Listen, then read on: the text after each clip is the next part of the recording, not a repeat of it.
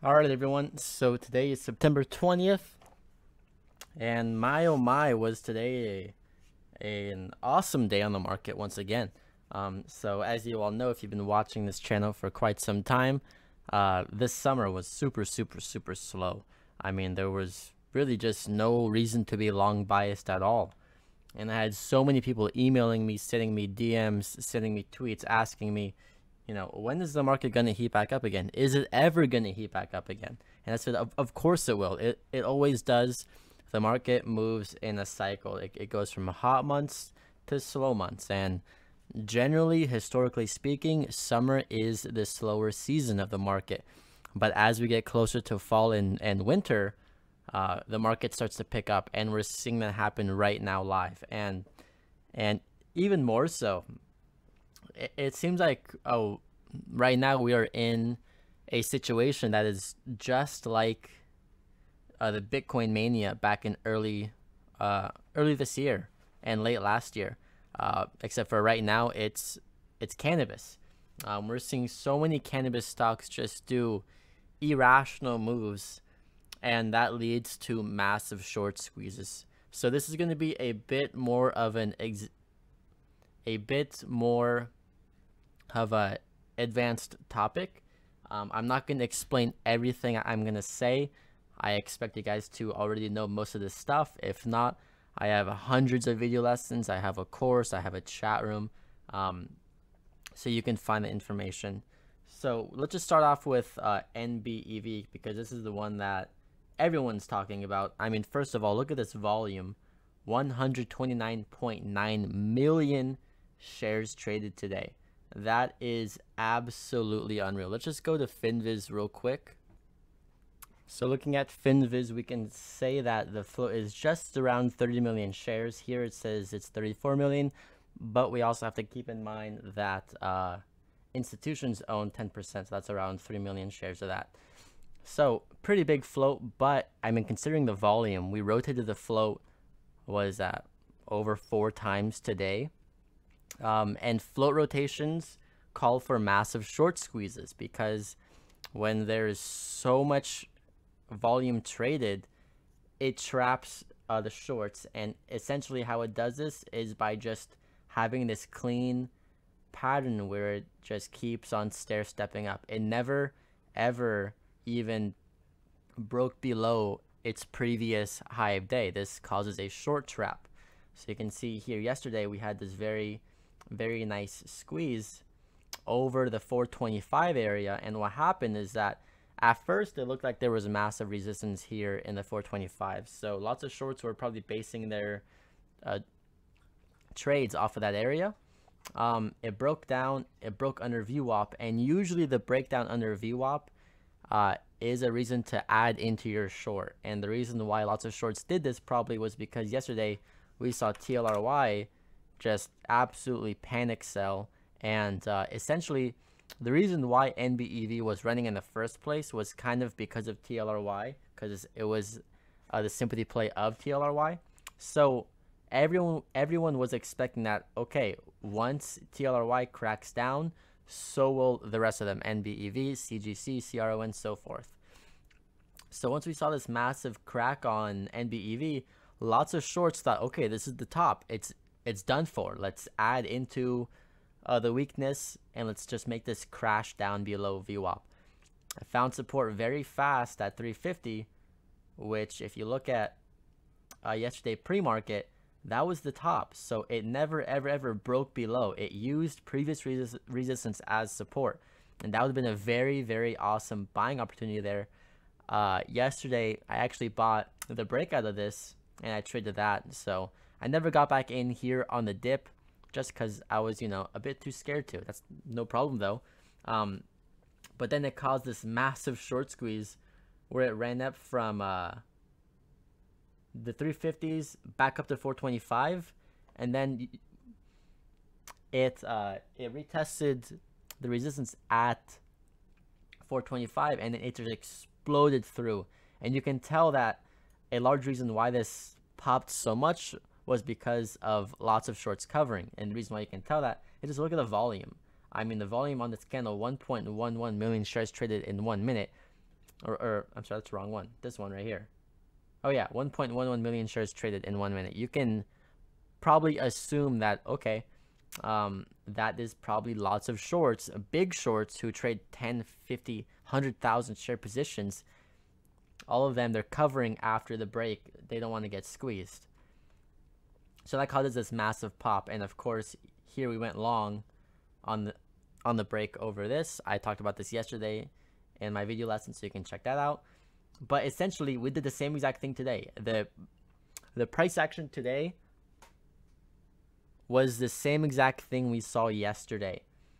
I mean, almost to a T. You can see we had very strong resistance here at pre-market, 635. We get this washout that traps lots of shorts, and this time, all the shorts thought, okay, once we break below 550, that's the time to pile on and and smash us back down. So you can see all morning we're trading within this range from 610 to 550 and then we finally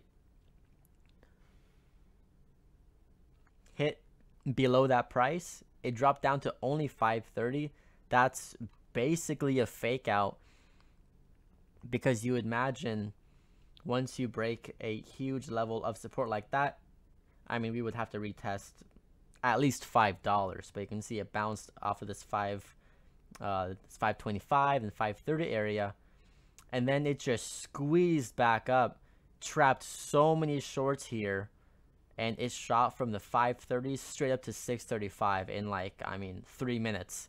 Um, absolutely crazy price action, just so much volume on this thing and and then you can see that it just turned into once again another obvious short squeeze pattern. The third test is likely the one that breaks out. You can see we ran up here. We hit 635 boom we broke out. And then we hit a high of 750 now i believe i traded that breakout. Let me just uh actually no i don't think i did. Um i was just way too scared of touching this one uh, and the main reason why is because I usually don't like to trade the stock that is, you know, so overcrowded. Uh, NBEV is a situation where the stock is just so overcrowded. I mean, you can tell by the volume that everyone is trading this.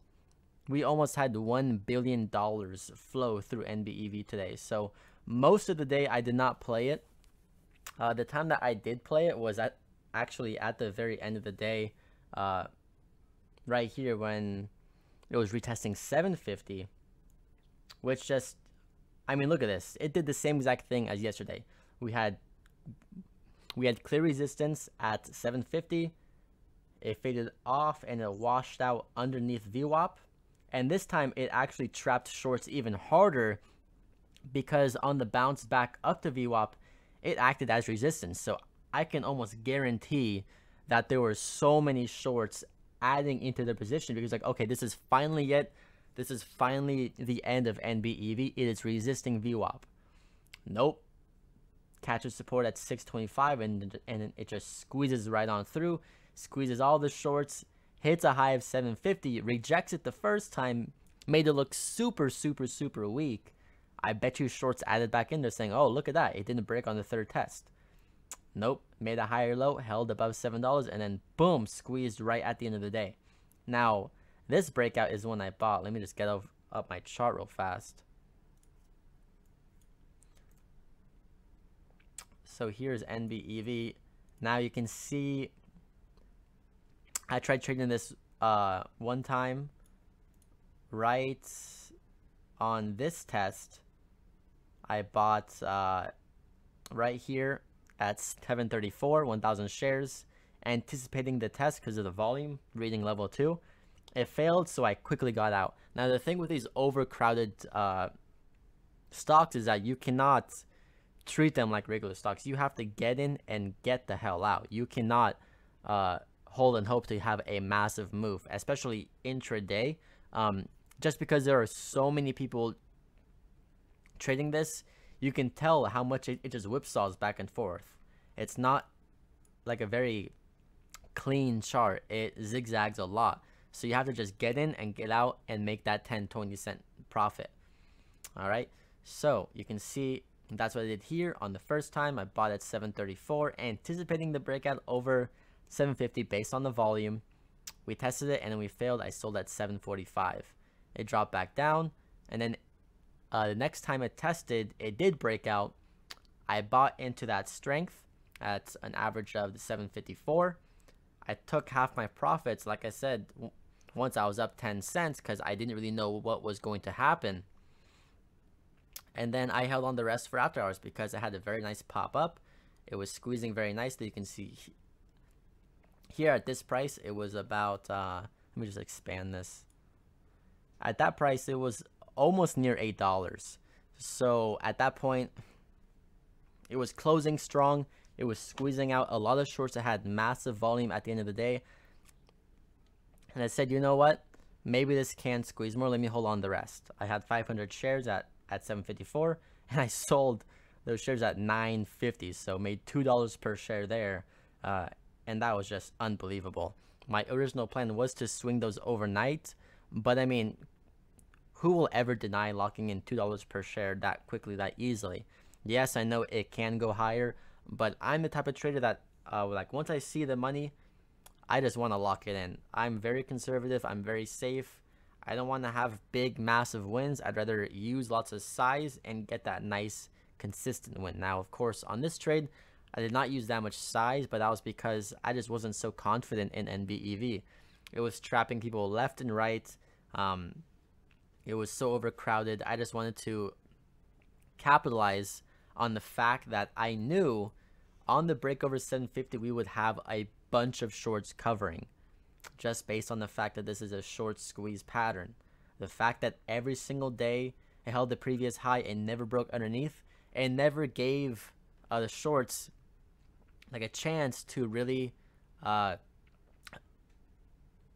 exit their position with profits. Lots of shorts on this lost money because they kept averaging up, averaging up, and it never dropped back down enough to where they would break even or make profits. And that's essentially how a short squeeze works. Um, you just keep making higher lows and higher highs, and you trap shorts along the way. So that was NBEV. That's the main one I want to talk about. Now, of course, I did take other trades too. Um, I traded AS. Uh, what was it? AWSM. I bought this one on the break over uh, the 750s with small size because this one had very low volume and I took those profits at 790 so made around 40 cents per share there. But I mean that one I'm glad I took my profits because that was part of my plan but wow it squeezed up so much more. Hit a high of $11 on that initial rally so I left a ton on the table. But that's fine you know I'll do the same thing next time. Maybe next time I'll use more size and I'll be able to uh, exit my position in pieces. The fact that I only had 500 shares, it didn't really make it worth my time to exit in pieces because of commission costs. And uh, and yeah, so one more I did trade was ASCMA, uh, and this one was a very nice trade. ASCMA, I found this one on my scanner, and this one reminded me a ton of ALT yesterday. So let me just bring up these two charts, ALT and ASCM. And I have to give a shout out over to one of the members in TradeBuddy. His name is Aston. Uh, because yesterday he traded uh, this one. He bought the support at at a seven dollar range, and he sold at seventeen dollars. So he made ten dollars per share, not ten cents, ten dollars, and he had a thousand shares. So, uh, you know, this one reminded me a ton of, or uh, it it reminded me a lot about ALT just due to the fact that it had a massive run up and then it was holding VWAP. Now, now I know on ALT it it didn't hold VWAP, but it kind of did the same exact thing. I like them more actually like when they do hold VWAP just because uh, VWAP acts as another type of support. So ASCMA, we had this massive rally from 110 up to 230s. We pulled back and we held, you know, very close to the highs. This is a prime time uh, characteristic of a run in the end of the day when you when you have a massive morning spike and it holds very close to the highs and it never breaks down, especially down under VWAP. And uh, I was buying this one. Let me get the chart. Um, where is it? I was buying this one, ASCMA. Do I have that one? No, one second. Here it is. ASCMA. Okay. There it is. ASCMA, I had 2,500 shares at an average of like 204. I had another 3,000 shares waiting to be bought near 195, but it just never dropped that low. And my risk was 187. So always, always, always have a plan for your trade. Know where you're going to buy, where you're going to uh, take profits, and where you're going to cut your loss every single time. If you don't know that, do not take the trade. And you can see this one, I followed my plan perfectly. My entire plan was to buy this one near support, looking to take profits at the high of daybreak. And you can see I bought here and I sold right there. So follow my plan perfectly. And let me just get up. Um, now, of course, all of these trades, I do give my plan um, within the Trade Buddy room. So, of course, uh, if you've if you believe that would help you out on your trading, the link is down below. Let me just find uh, ASCMA. Okay, it was above this.